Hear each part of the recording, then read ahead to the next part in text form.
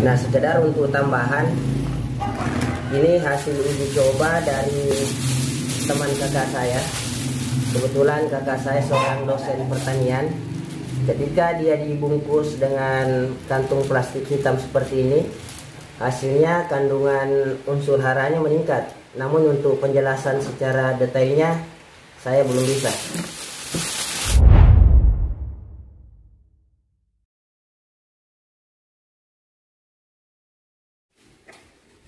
Assalamualaikum warahmatullahi wabarakatuh. Halo sahabat tani Jumpa lagi di channel saya Petani Sedondo Pada video kali ini Saya akan memperlihatkan cara membuat pupuk organik cair Dari air cucian beras Beserta dengan cara penggunaannya Manfaat dan kandungannya. Namun sebelum kita mulai aktivitas hari ini Kita tidak boleh lupa berdoa karena kunci keberhasilan itu ada di tangan Allah. Semoga Allah senantiasa memberikan kesehatan kepada kita semua, memberikan kita rezeki yang melimpah dan memberikan kita umur yang panjang. Amin Allahumma amin. Nah, sahabat tani, dalam pembuatan pupuk organik cair dari air cucian beras ada beberapa alat dan bahan yang harus kita persiapkan. Yang pertama, wadah penampung beserta dengan penutupnya. Sahabat tani juga bisa siapkan jergen juga kayu pengaduk dan di sini tambahan untuk saya kantung plastik hitam. Nanti penjelasannya di akhir video. Sedangkan untuk bahan-bahannya yang pertama air cucian beras itu sendiri. Untuk air cucian berasnya saya gunakan cucian beras yang pertama karena kandungan unsur haranya lebih baik. Kemudian gula. Di sini saya gunakan gula merah. Namun jika tidak ada, sahabat tani bisa gunakan gula putih sebagai pengganti. Nah, manfaat gula ini adalah sebagai makanan untuk dekomposer yang ada di sini. Dan bahan yang ketiga adalah dekomposer. Di sini saya gunakan M4. Sahabat tani bisa gunakan merek lain atau sahabat tani bisa gunakan Moltape. Nah, untuk cara kerjanya sangat mudah. Pertama, ini air cucian berasnya. Kita masukkan di wadah.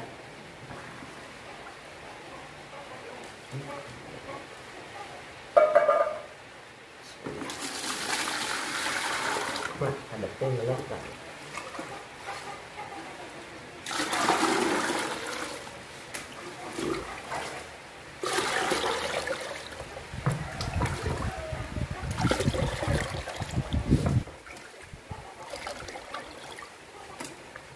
Nah sahabat tani setelah kita masukkan air cucian berasnya di wadah Langkah selanjutnya kita masukkan gulanya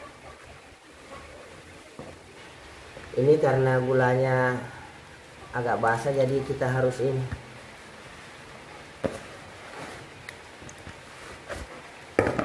Larutkan dengan tangan.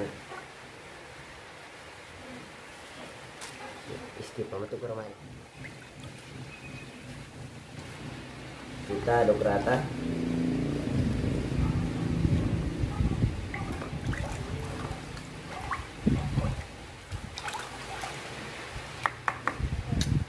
Nah sahabat tani setelah kita campur rata Langkah terakhir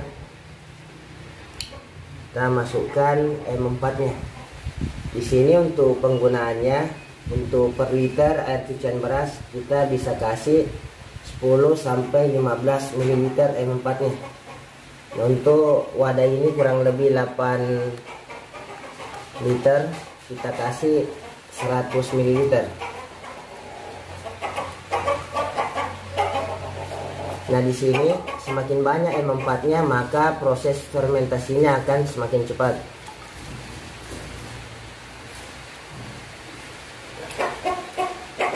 Kita aduk rata kembali.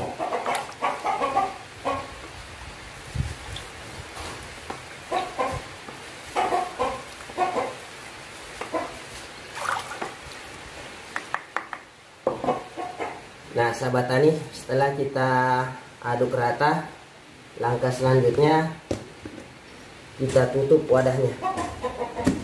Kita tutup rapat.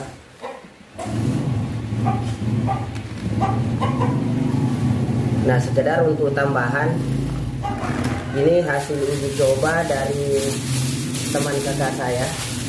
Kebetulan kakak saya seorang dosen pertanian ketika dia dibungkus dengan kantung plastik hitam seperti ini hasilnya kandungan unsur haranya meningkat. Namun untuk penjelasan secara detailnya saya belum bisa.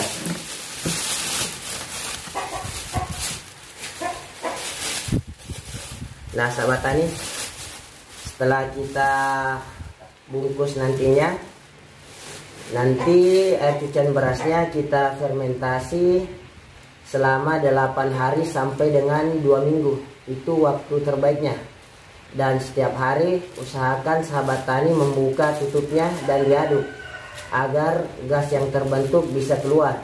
Karena kalau tidak dibuka nanti dia bisa meledak. Nah sahabat tani itu dari cara pembuatannya. Sedangkan untuk cara penggunaannya sahabat tani bisa lakukan dua cara. Yang pertama jika sahabat tani ingin semprot langsung di daun, sahabat tani bisa ambil 10 ml kemudian dicampurkan di 1 liter air dan disemprotkan ke seluruh bagian tanaman khususnya di bagian bawah daun. Itu jika kita semprotkan langsung. Namun jika sahabat tani ingin mengocor, maka kita kasih 10 sampai 20 ml dicampurkan dalam 5 liter air dan setiap pohon itu kita kasih 250 atau dalam setiap campurannya itu hanya untuk dua pohon. Itu untuk cara penggunaannya. Kemudian untuk manfaatnya manfaat di sini air cucian beras sangat banyak. Dia bisa memperbaiki sifat sifat fisika sama sifat kimia tanah. Artinya untuk memperbaiki tanah yang sudah tandus Sedangkan untuk kandungannya sahabat tani bisa lihat di layar ada beberapa. Namun di sini kita harus jujur bahwa kandungan NP dan K POC dari air cucian beras tidak sampai satu persen. Oleh karena itu saya sarankan untuk sahabat tani jika ingin membuat pupuk organik cair dari air cucian beras sebaiknya ditambahkan dengan limbah rumah tangga lainnya seperti nasi basi, pepaya, kulit pisang atau sejenisnya. Caranya kita blender kemudian kita campur. Itu dari pengalaman kakak saya dari penelitiannya. Nah sahabat tani yang terakhir ini kita simpan di tempat teduh yang tidak terkena sinar matahari langsung. Dan ingat setiap hari harus kita buka. Jangan sampai kejadian kayak teman meledak. Karena tidak pernah dibuka. Karena tidak pernah dibuka. Nah sahabat tani Mungkin hanya itu informasi pertanian yang bisa saya bagikan kali ini. Sekiranya informasi ini bermanfaat, saya minta dukungannya untuk menekan tombol subscribe-nya dan menyalakan tombol notifikasinya. Dari Palu, Sulawesi Tengah, salam petani Sidondo. Assalamualaikum warahmatullahi wabarakatuh. Sukses selalu. Sanu. Sote Oh, oh, siap ciri lah. Sudah disiapkan tempatnya. Di sini terlindung dari sinar matahari langsung. Mantap